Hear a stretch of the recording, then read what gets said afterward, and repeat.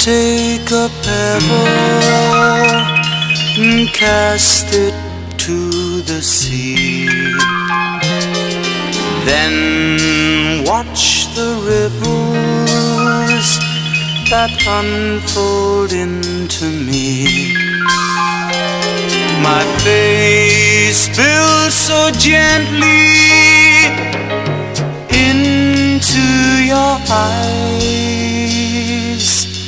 disturbing the waters of our lives.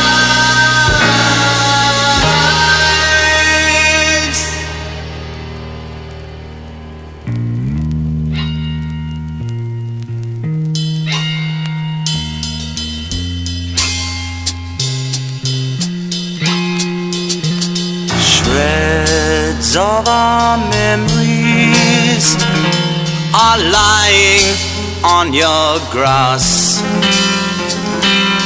Wounded words of laughter are graveyards of the past.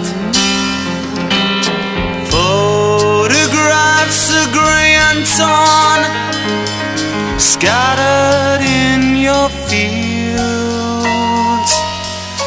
Letters